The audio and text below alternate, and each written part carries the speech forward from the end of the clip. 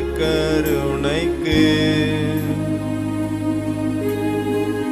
பக்தியாய் ஆராதனை. செய்யும் புரிவோ? நித்திய ஸ்துதிக்குரிய பரிசுத்த நற்கரு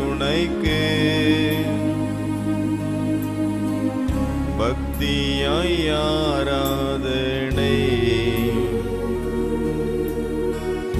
எத்திசையும் புரிவோ. நித்திய ஸ்துதிக்குரிய பரிசுத்த நற்கருணைக்கு பக்தியாய் ஆரா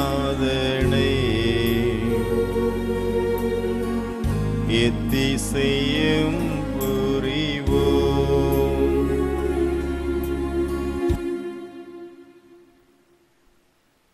பரிசுத்த பரமதிவ்ய நற்கருணையில் வீற்றிருக்கும் ஆண்டவரே. பரிசுத்த பரமதிவினர் கருணையில் வீட்டிருக்கும் ஆண்டவரே. உம்மை இருகரம் குவித்து சிரம் தாழ்த்தி ஆராதிக்கிறேன். இருக்கரம் குவித்து சிரம் தாழ்த்தி ஆராதிக்கிறேன். ஆண்டவராகிய இயேசுவே ஆண்டவராகிய இயேசுவே இழந்து போனதை தேடி மீட்கவே. இழந்து போனதை தேடி மீட்கவே. நீர் இம்மண்ணுலகுக்கு வந்தீர். நீரி மண்ணுலைக்கு வந்தீர். ஆண்டவராகிய இயேசுவே ஆண்டவராகிய இயேசுவே நற்செய்தியில் நாங்கள் வாசிக்கிறோம். நற்செய்தியில் நாங்கள் வாசிக்கிறோம். நீங்கள் காணாமல் போனவர்களை நீங்கள் காணாமல் போனவர்கள் இழந்து போனவர்களை இழந்து போனவர்களை தேடி தேடி கண்டுபிடித்து கண்டுபிடித்து அவர்களை மீட்கிற அவர்களை மீட்கிற செயலை பார்க்கிறோம். செயலை பார்க்கிறோம். சக்கேயு போன்ற சக்கையு போன்ற மனிதர்கள் மனிதர்கள் இழந்து போனவர்கள். இழந்து போனவர்கள் சக்கேயுவை சக்கேவி வலிய வழிய நீரே அவருடைய வீட்டுக்கு சென்று அவருடைய வீட்டிற்கு அவரை மனம் மாற்றினீர். அவரை மனம் மாற்றினீர். ஆண்டவரே ஆண்டவரே எங்களை தேடி வருகிறீர். எங்களை தேடி வருகின்றேன் உமது வருகையை உமது வருகையை நாங்கள் உணர்ந்து கொள்ள நாங்கள் உணர்ந்து கொள்ள மனம் மாற மனமாற எங்களுக்கு வரம் தாரும். எங்களுக்கு வரம் தாரும்.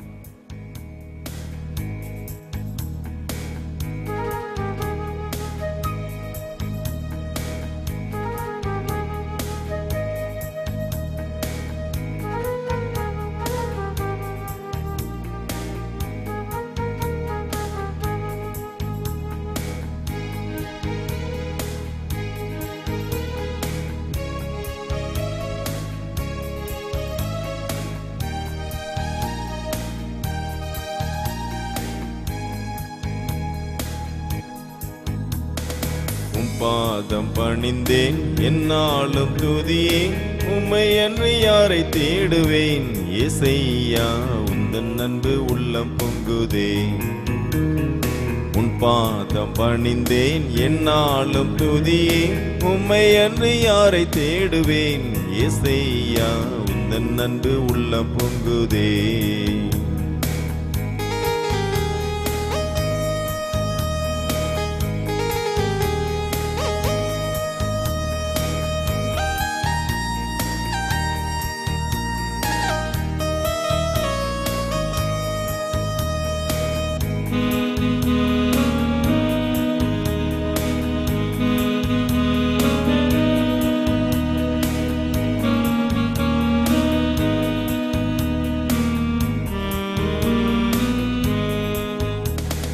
பரிசுத்தமே பரவசமே பரணே அருளே பரம்பொருளே. பரிசுத்தமே பரவசமே பரணே அருளே பரம்பொருளே. தேடினதால் கண்டடைந்தேன் பாடிட பாடல்கள் ஈந்தளித்தேன். தேடினதால் கண்டடைந்தேன் பாடிட பாடல்கள் ஈந்தளித்தீர். உன் பாதம் பணிந்தேன் என்னாலும் துதியே. உமை அன்று யாரை தேடுவேன்? எசையா உந்தன் அன்பு உள்ள பொங்குதே.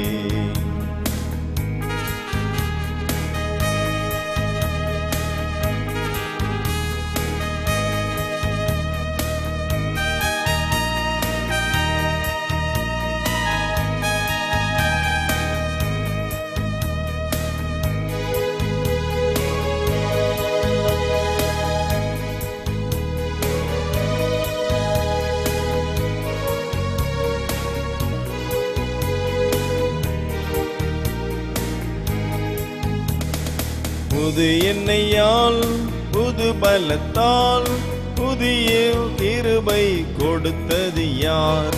புது என்னையால் புது பலத்தால் புதிய கிருபை கொடுத்தது யார்? உண்மையின் வடிவாய் உருவெடுத்தாய் தூயனே அருள்மழை பொழிவாயே. உண்மையின் வடிவாய் உருவெடுத்தாய் தூயனே அருள்மழை பொழிவாயே. உன் பாதம் பணிந்தேன் என்னாலும் துதியே. உம்மை அன்று யாரை தேடுவேன்? எசையா உந்தன் அன்பு உள்ளம் பொங்குதே.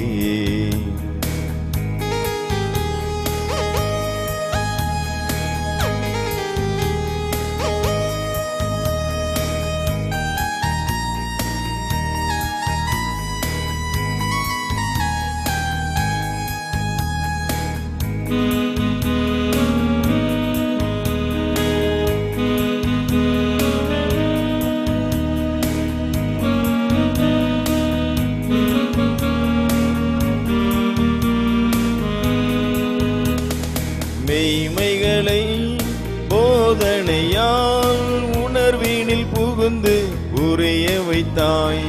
மெய்மைகளை போதனையால் உணர்வினில் புகுந்து புரிய வைத்தாய். நிதமும் நித்தமும் பொழுதினிலும் நேசனே உன் அன்பை நான் சுவைத்தேன். நிதமும் நித்தமும் பொழுதினிலும் நேசனே உன் அன்பை நான் சுவைத்தேன். உன் பாதம் பணிந்தேன் என்னாலும் துதியே உம்மை அன்று யாரை தேடுவேன்? எசையா உந்தன் அன்பு உள்ள பொங்குதே. உன் பாதம் பணிந்தேன் என்னாலும் துதியே உம்மை அன்று யாரை தேடுவேன்? இசையா உந்தன் அன்பு உள்ளம் பொங்குதே.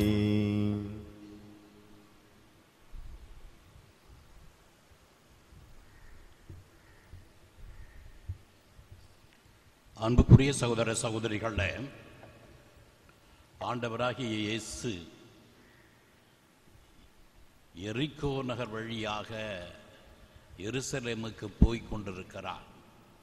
அப்பொழுது ஜக்கையு என்ற மனிதர் இயேசுவை பற்றி கேள்விப்பட்டிருந்தார். அதனால் அவரை காண வேண்டும் என்ற ஆவலால் அவர் ஓடி வருகிறார். அவர் வரி தண்டுவோருக்கு தலைவர். வரி தண்டுபவர்களை பொதுவாக ரோமை அரசுக்கு பணி செய்கிறவர்கள் ஊழியம் புரிகிறவர்கள் ரோமை அரசு இஸ்ராயல் மக்களை அடிமைப்படுத்தி வைத்திருந்தது. அடிமைப்படுத்தி வைத்திருந்த அரசுக்கு இவர் ஊழியம் செய்கிறார்.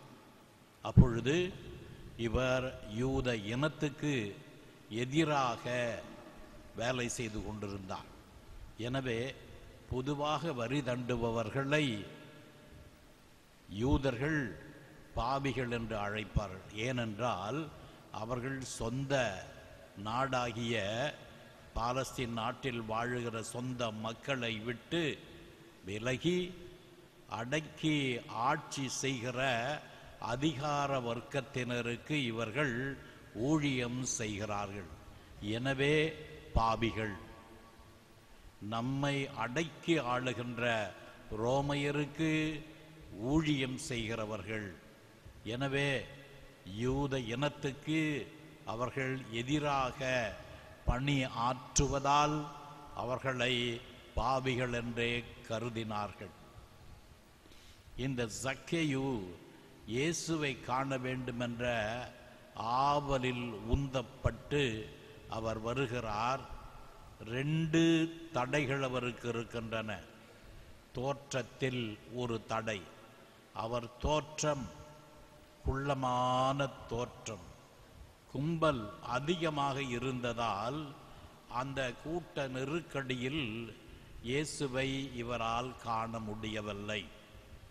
இரண்டாவதாக இவர் பகிரங்கமாக மக்களோடு பழக முடியவில்லை. ஏனென்றால் அவர் ஒரு சமூக விரோதி சமூகத்தால் ஒதுக்கப்பட்டவர். ஆகவே கூட்டத்தில் கும்பலில் வந்து நிற்க அவருக்கு வெட்கமாக இருந்தது. கூட்டத்தில் இருக்கிறவர்கள் இவரை பாவி என்று வெளிப்படையாகவே அழைப்பார்கள். வரி தண்டுபவர்களை. அதனால் சமூகத்தால் ஒதுக்கப்பட்டிருந்த ஒரு நிலை. இந்த ரெண்டு தடைகள் அவரிடம் இருந்தன. ஆனாலும் இயேசுவை பார்க்க வேண்டும் என்ற ஆவல் இவரை உந்தி தள்ளுகிறது. எனவே அந்த சாலையில் முன்னே பார்க்கிறார். அங்கே ஒரு மரம். அத் அத்தி மரம் தாழ்வான கிளைகளோடு இருப்பதை பார்த்தார். ஓடிப்போய் அந்த மரத்தின் மேல் ஏறி அமர்ந்து கொண்டு இயேசுவினுடைய வருகைக்காக காத்திருக்கிறார். அவர் அந்த மரத்தில் ஏறியது அங்கே அமர்ந்திருந்தது இது யாருக்கும் தெரியாது. ஆனால் அந்த இடத்திற்கு வந்தவுடனே இயேசு நின்று அண்ணாந்து பார்த்து ஜக்கையுவே விரைவாய் இறங்கி வாரும். இன்று உன் வீட்டில் நான் தங்க வேண்டும் என்று சொன்னார். எதிர்பார்க்கவில்லை. இப்படி இடி முழக்கத்தைப் போல இயேசு சொன்னது அவருக்கு அதிர்ச்சியை கொடுத்தது. என்னுடைய வீட்டிலா? என்னுடைய வீட்டில் விருந்துண்ண வருகிறாரா? என் வீட்டில் தங்க இந்த போதகர் வருகிறாரா? என்ற அதிர்ச்சியில் அவன் ஆழ்ந்து விட்டான். மரத்திலிருந்து குதித்து முன்னே ஓடிப்போய் வீட்டை தயாரித்து ஆண்டவர் இயேசு வருகின்ற போது அவரை வரவேற்றார். இயேசு மட்டுமல்ல இயேசுவோடு வந்த சீடர்கள் தூதர்கள் அனைவரையுமே வரவேற்கிறார். இந்த மனிதனுடைய மனமாற்றத்திற்கு இயேசு முயற்சி எடுக்கிறார். அவரே வலிய சென்று உன் வீட்டில் தங்க வேண்டும் என்று கூறுகிறார். ஆனால் அந்த மனிதனுடைய உள்ளத்தில் இருந்த ஒரு ஆவலை அவர் உணர்கிறார். இது மேலோட்டமான ஒரு ஆசை அல்ல. இது ஆழமானது. அதனால்தான் எப்படியும் இயேசுவை காண வேண்டும் என்ற ஒரு வேகம் இவனிடத்தில் இருந்தது. எனவே தடையை தாண்டி குதிக்கிறான். குள்ளனாக இருப்பதால் கூட்டத்தில் தெரியவில்லை. பாவி என்பதால் கூட்டத்தில் கலந்து செல்ல முடியவில்லை. எனவே ஓடிப்போய் மரத்தில் ஏறி உட்கார்ந்து கொண்டார் தடையை தாண்டினார் அந்த முயற்சி எடுத்தார் பாருங்கள். அதுவே அவரிடத்தில் ஒரு ஆர்வம். அது மேலோட்டமான ஆர்வம் இல்லை ஆழமான ஆர்வம் என்பதை இயேசு உணர்ந்து கொண்டு இப்பொழுது உன் வீட்டில் நான் உணவருந்த வேண்டும் என்று சொல்லி அவனுடைய வீட்டுக்கு அவரே செல்லுகிறார். இந்த நிபந்தனையற்ற ஏற்பு அந்த மனிதர் வாழ்வில மாபெரும் மாற்றத்தை ஏற்படுத்துகிறது. அவர் இயேசு தன்னை அன்பு செய்கிறார் நிபந்தனையின்றி ஏற்றுக்கொள்ளுகிறார் இந்த சமூகம் புறக்கணித்தாலும் அவர் அவனை புறக்கணிக்காமல் அவருடைய வீட்டுக்கு வந்து உணவருந்துகிறார். இந்த செயல் அவர் உள்ளத்தை முற்றிலுமாய் மாற்றிவிட்டது. இதுவரை செல்வம் பணம் காசு என்று எல்லாவற்றிற்கும் மேலாக முன்னிடம் கொடுத்திருந்தவர் அயலானை பற்றியோ பிறரை பற்றியோ எந்த அக்கறையும் இல்லாதவர் வரி வசூலிக்கும் போது மிக கொடூரமாக நடந்து மக்களிடத்தில் இருக்கிற உடைமைகள் ஆடு மாடு போன்ற பொருட்களை ஏலமிட்டு வரியை வசூலித்தவர் இரக்கமில்லாதவர் இப்பொழுது முற்றிலும் மாறுகிறார். ஏனென்றால் இயேசுவின் அந்த இரக்க பார்வை அவர் மேல் விழுந்தது. இன்று உன் வீட்டில் நான் தங்க வேண்டும். இந்த இரக்கத்தின் பார்வை இரக்கத்தின் சொற்கள் அவன் உள்ளத்தை ஊடுருவுகின்றன. அதனால் இரக்கத்தை உணர்ந்தவர் முற்றிலும் மாறுகிறார். அவர் எழுந்து நின்று இதோ என் உடமையில் பாதியை ஏழைகளுக்கு இலவசமாக தர்மமாக நான் கொடுத்து விடுகிறேன் என்று சொன்னார். எவ்வளவு பெருந்தன்மை பாருங்க. உடமையில் பாதியை ஏழைகளுக்கு இலவசமாய் கொடுத்து விடுகிறேன். எந்த கணக்கு வழக்கு இல்லாமல் இலவசமாய் நான் கொடுத்து விடுகிறேன் என்ற ஒரு நிலைப்பாட்டை அவர் அறிவிக்கின்றார். அடுத்ததாக எவரையாவது ஏமாற்றி எதையாவது கவர்ந்திருந்தால் அதிகமாக யாரையும் ஏமாற்றலை? யாரையும் ஏமாற்றி கவர்ந்து சொத்து சேர்க்கல இருந்தாலும் ஏமாற்றி இருந்தால் நான்கு மடங்காக திருப்பி கொடுத்து விடுகிறேன். மோசை சட்டப்படி ஏதாவது ஒருவருக்கு இழப்பு தேடியிருந்தால் அந்த பொருளுக்கு ஏற்ற அளவு பரிகாரம் செய்ய வேண்டும். ஆனால் இங்கே பாருங்க நான்கு மடங்காக திருப்பி தருகிறேன் என்று சொல்லுகிறார். அப்படியானால் இவரிடத்தில் அபகரித்த காசு அதிகம் இல்லை. தானாக சேர்த்த சொத்துதான் அதிகமாக இருந்தது. அதிகமாக ஏமாற்றி கவர்ந்திருந்தால் அவருடைய சொத்தெல்லாம் ஏமாற்றி கவர்ந்த சொத்தாக இருந்திருந்தால் நான்கு மடங்கு அவரால் கொடுக்க முடியாது. அந்த அளவுக்கு அவர் துணிச்சலா ஒரு அறிக்கையை செய்கிறார் என்றால் அவர் ஏமாற்றி பறித்தது மிக குறைவானதுதான். இவ்வாறு அவர் பணத்துக்கும் தனக்கும் இடையே இருந்த அந்த மேலான உறவை முறித்துவிட்டு மனிதர்களோடு உறவு கொள்ளுகிறார்.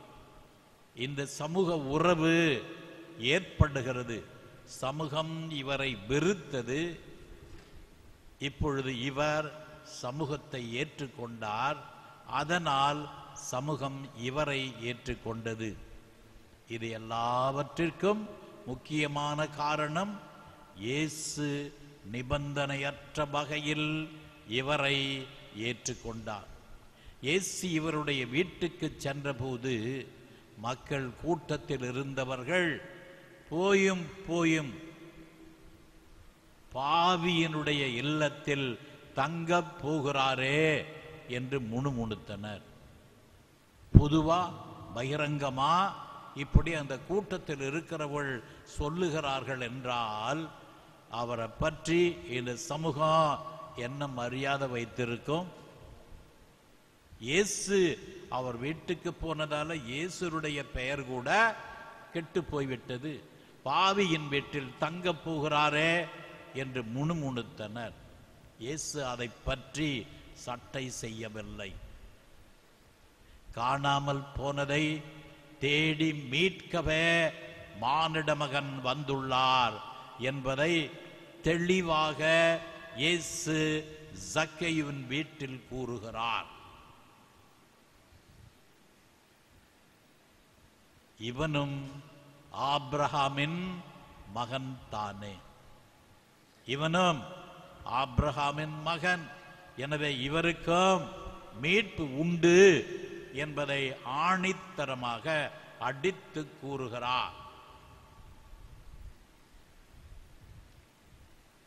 இயேசுவை நாம் ஏற்றுக்கொள்வோம்.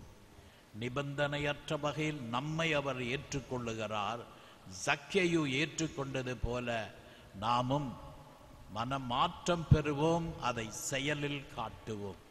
ஆண்டவராகி இயேசுவே காணாமல் போனதை தேடி மீட்கவே நீர் வந்தீர். நாங்கள் பாவம் செய்யும் போதெல்லாம் காணாமல் போய்விடுகிறோம். உம்மை விட்டு பிரிந்து போகிறோம். காணாமல் போய் விடுகிறோம் இயேசுவே எங்களை தேடி வந்து எங்களை மீட்கிறவரே இந்த சக்கையு ரெண்டு விதமான தடைகள் இருந்தாலும் அந்த தடைகளை தாண்டி குதித்து உம்மை ஏற்றுக்கொண்டார். மனமாற்றத்தை உடனடியாக செயலில் காட்டினால் இயேசுவே நாங்களும் மனம் மாறவும் அந்த மனமாற்றத்தை எங்களுடைய செயல் மாற்றத்தின் வழியாக அறிக்கையிடவும் வரம் தாரும். ஆமேன்.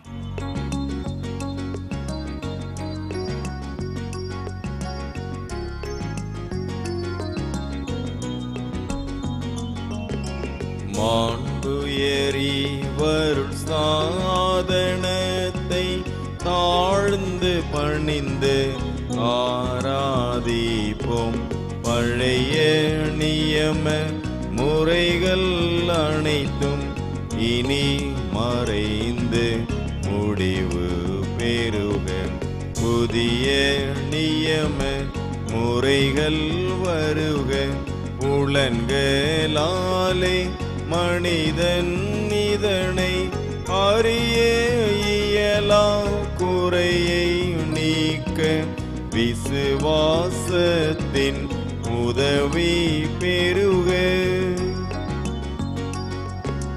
பிதாவர்க்கும் சுதன்னிவர்க்கும் புகழ்ச்சியோடு வெற்றியார்பும் மீட்பின் பெருமை மகிமை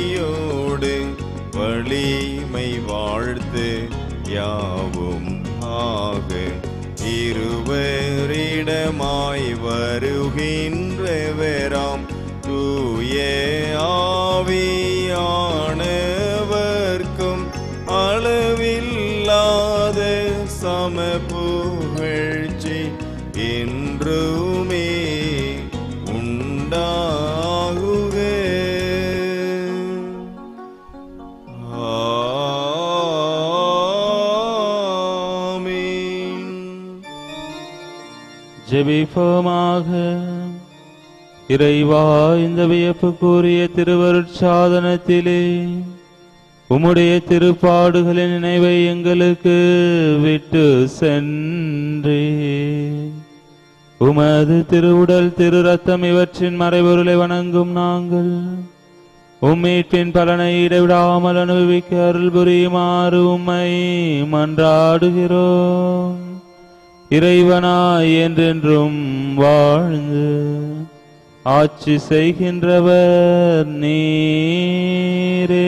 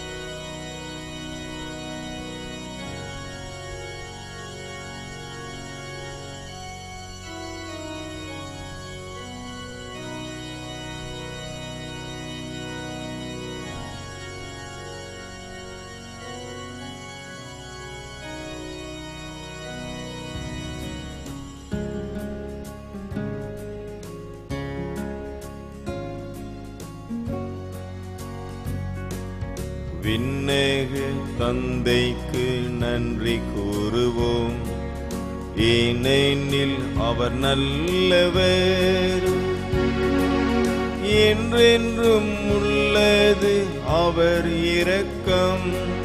ஞானத்தோடு உலகை படைத்தாரே. என்றென்றும் வல்லமையோடு தம் மக்களை வழிநடத்தி செல்கின்றார். என்றென்றும் உள்ளது அவர் இரக்கம். தம் பிள்ளைகளை மன்னித்து வரவேற்கின்றார். என்றென்றும் உள்ளது அவர் இரக்கம்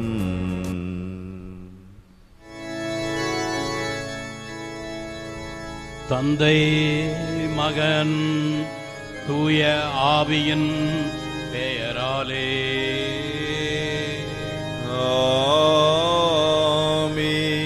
நம் ஆண்டவராகிய இயேசு கிறிஸ்துவின் அருளும் கடவுளின் அன்பும் பரிசுத்த ஆவியின் நட்புறவும் உங்கள் அனைவரோடும் இருப்பதாக.